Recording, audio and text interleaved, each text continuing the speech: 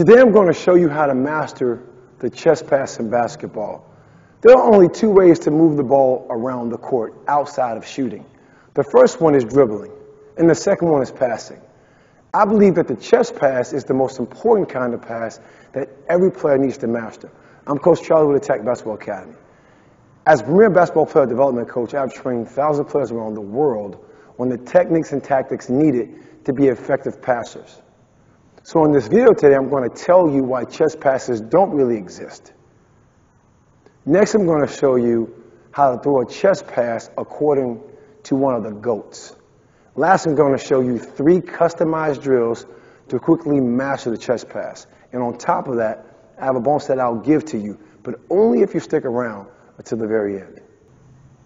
Let's get right into why chest passes don't really exist. Because the chest can't catch. It's really an air pass. And you may hear a coach say, hit the player between the numbers. We get that from football because they may have two numbers like 88, 21. So you want to target the chest in a sense, right? We borrow from different sports all the time, right, in basketball. But you're targeting the chest area. But it's really an air pass, like I said, right? So the chest pass don't exist. You want to target the ball around that chest area. And for me, to give you a bigger target than the chest itself, you want to target the ball at what I call your teammate's box. And their box, as I back up a little bit so you can see it, starts from, say, one side of their body, left or uh, right side of their body, over to the left side, and this is that window you want to pass that ball in. So now when you're making that pass between the numbers, whether it's a single number or double number, now you have a, a larger target right? And to get that ball in the air. Now, I want to show you how to throw an air pass like one of the GOATs, greatest of all times, Michael Jordan himself. The way he described and the way I witnessed him pass the ball, okay, was flawless. He would keep his elbows out, thumbs firmly on the ball with his hands right? And I want to show you with no ball in hand. His elbows will go in, his arms go straight out, his thumbs will go down, his palms will go out, and that ball would be flawless. Me just marveling at how he made passes, right? How he made passes, and notice how I'm passing this basketball in a straight line, and this ball's coming back to me every single time. That's the key to a great air pass. Elbows out, thumbs on the ball firm with hands, elbows in when you release it. Elbows out, elbows in. Thumbs down, palms out. Now that you know how to chest pass like MJ, I want you to come below with thumbs down and click the thumbs up to let us know you like this video. Go ahead and drop thumbs down in the comments below. Now I'm going to show you three customized drills to quickly master the chest pass. All right, now, here are three customized ways I can quickly master the chest pass by myself. That's another thing I want you to keep in mind. Done in 20 seconds on this teaching point, you don't need a partner to work on passing. You just need a wall and imagination. Good to have those things, but you don't need it. Watch me. First, stationary. Again, thumbs down, palms out, in a low athletic stance, passing the ball against the wall, right?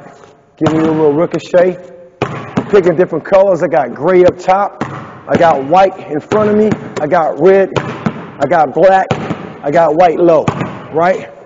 Having some fun with it. See, I'm using that color scheme as I pass the basketball. I'm having target as I pass the ball in the air, right? Doing that stationary. Then I want to learn to do dribble pickups, meaning when I dribble the basketball, I want to pick the basketball up as quick as I can to pass the ball to my teammate that's open. So now I can use dribble moves, right?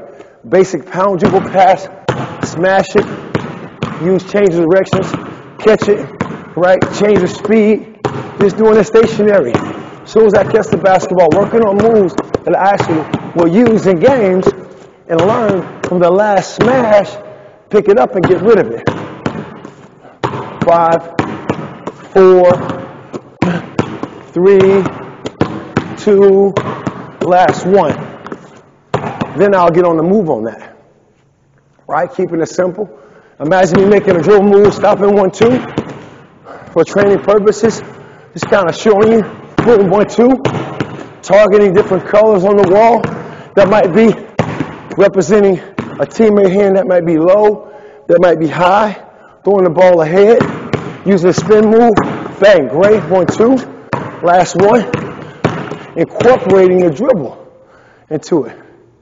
Then now I want to use the backboard as I go into learning how to finish off of dribbling the basketball, throwing the ball off the backboard air pass, and then gonna go finish with it. Let's check it out. So I got this wall, right? So it's just kind of showing you I can stay still, pass it, catch it as if I had a teammate pass me the ball, and lift to a jump shot, right? I can go on a dribble move, pass it, catch it, go into a layup. Okay? Right? We're going stationary passing. I'm going to pass the basketball to the wall like the GOAT. MJ, catch it, lift up and shoot. Make a quick three. Chest pass two, step into it. That's two. One more coming up. Using the wall, my imagination. Boom. That's three. Like the GOAT himself. Swishes. Now I'm on the move with the dribble. I'm on the move with the dribble. Use the handle, pass it, catch it, lay the ball up. Learning how to get used to a good hard pass. Right, boom, air pass, catch it, mix up how I finish around the rim. Here I go. Dribble move, boom. That's one. Hard pass, too. So I got to be ready when I make this pass on the wall to catch it and finish. That's two. Here's the last one.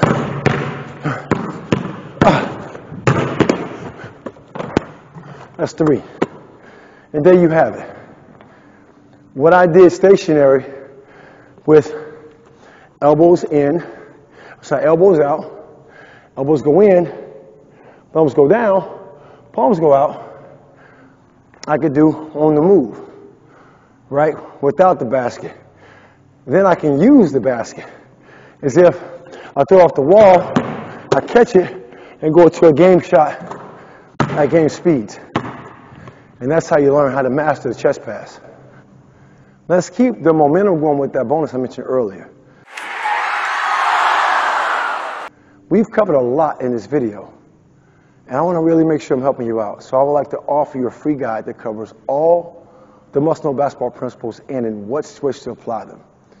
This is a powerful guide of best practice tips and skills empowering you to take charge of your game. So just click the link in the description below. You can download the guide I put together as my gift to you. Enjoy it and keep attacking.